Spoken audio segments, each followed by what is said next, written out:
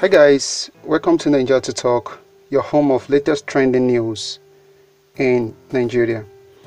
Didier Drogba grants Kylian Mbappe a selfie at the Ballon d'Or award.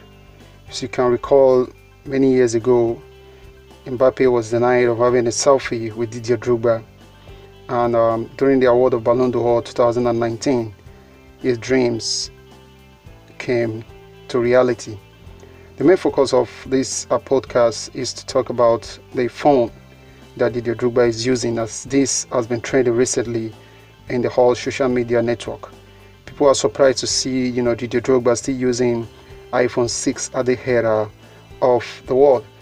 Um, they see the player as a very rich and stronger influence in terms of football, and they should be using. Uh, many people believe they should be using the phone that is more, you know, advanced than this.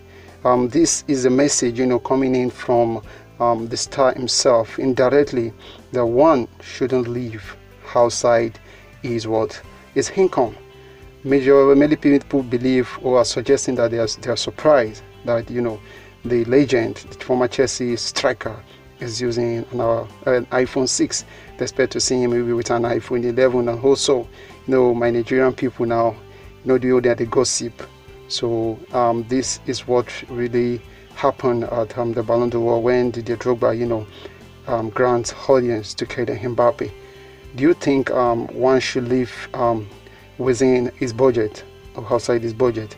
Let us hear your comments in the comment section. Please do subscribe to the channel.